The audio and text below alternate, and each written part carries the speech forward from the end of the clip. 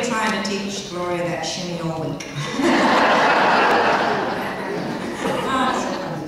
Phyllis Chelgren does a Broadway style dance for her second number. She's dancing too. I guess I'll have to change my.